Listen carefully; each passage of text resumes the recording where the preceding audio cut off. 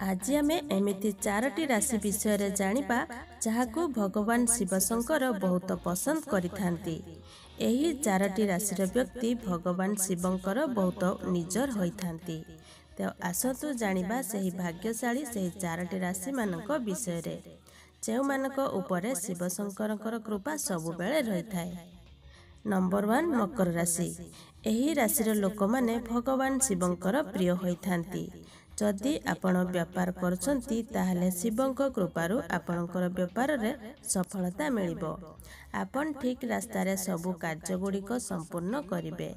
ଶିବଙ୍କ କୃପାରୁ ଆପଣ ନିଜ କ୍ୟାରିୟରରେ ବି ସଫଳତା ପ୍ରାପ୍ତି କରିବେ।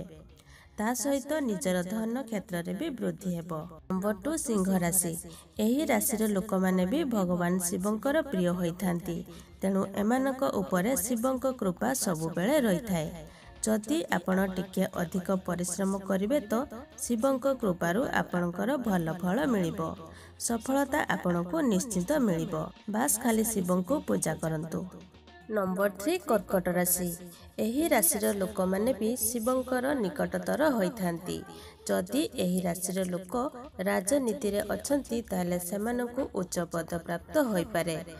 ଆପଣଙ୍କର ମାନସିକ ଶକ୍ତି ବୃଦ୍ଧି ହେବ। ଖରାପ ବିବାଦରୁ ଦୂରରେ ରହିବା ଆପଣଙ୍କ ପାଇଁ ଭଲ ରହିବ। କ୍ରୋଧ ଉପରେ ଆପଣଙ୍କୁ ନିୟନ୍ତ୍ରଣ ରଖିବାର ଅଛି। ଶିବଙ୍କ କୃପାରୁ ଆପଣ ସବୁବେଳେ ଟଙ୍କା ରୋଜଗାର କରୁଥିବେ। ନମ୍ବର ଫୋର୍ ମୀନ ରାଶି। ଏହି ରାଶିର ଲୋକମାନେ ଭଗବାନ ଶିବଙ୍କର ଭକ୍ତ ହୋଇଥାନ୍ତି। ଯାହାର କାରଣରୁ ଭଗବାନ ଶିବ ଏମାନଙ୍କୁ ସବୁବେଳେ ସାହାଯ୍ୟ କରିଥାନ୍ତି।